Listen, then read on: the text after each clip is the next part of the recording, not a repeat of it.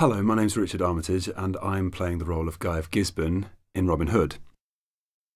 When I found out that I was going to be playing Guy of Gisborne, I looked back through as many of the old stories as possible of the original Robin Hood texts, of which there are quite a few because they seem to be rewritten more or less every decade or every century or so. There's Victorian versions, they go back right to the original, which was a set of poems which were very different from the story that we know today. And it's usually written at a time of civil unrest when uh, there's something kind of threatening the, the peace and harmony of the nation.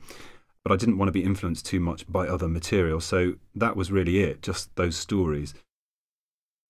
I don't remember reading the Robin Hood books, but it seems to be in the kind of nation's subconscious somewhere that you just always seem to be aware of it. I do remember this series in the 1980s being on, with Michael Praed and then Jason Connery, I think it was. But the main thing I remember about that was the music, which was Clannad, I believe. And it was always on a on a Saturday or a Sunday night or something. But it was it always seemed to be on the Disney version of Robin Hood, where uh, Robin Hood's played by a fox. I don't know why I remember that, but um, I think there was a Ladybird book that I had as a very young child as well. I remember reading that. It's interesting wherever you go in the world as well. Most of the rest of the world seem to know about Robin Hood as well.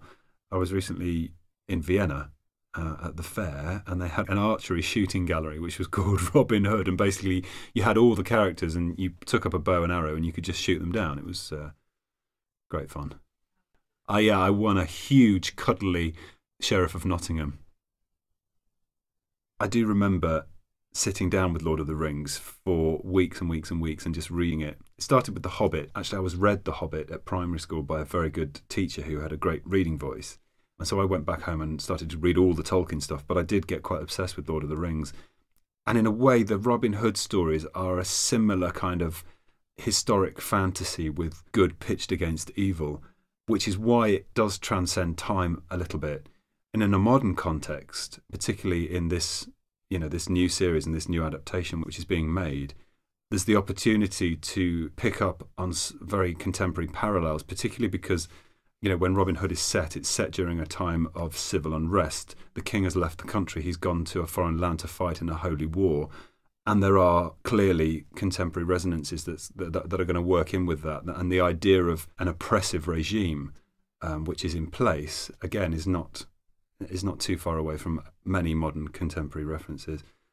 And the constant fear of terror, which is created by this oppressive regime, is something which is very much being picked up on in this series. And again, I think this is something which can be related to by contemporary events.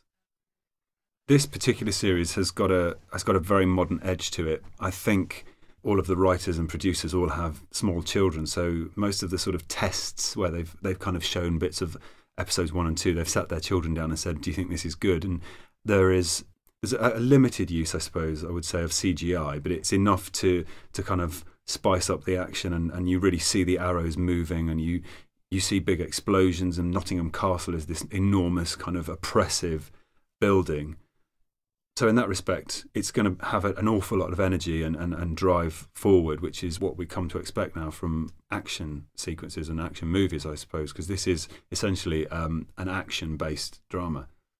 This is not the cosy men in green tights that it once was. You won't see a pair of tights in this series, ever. Not officially.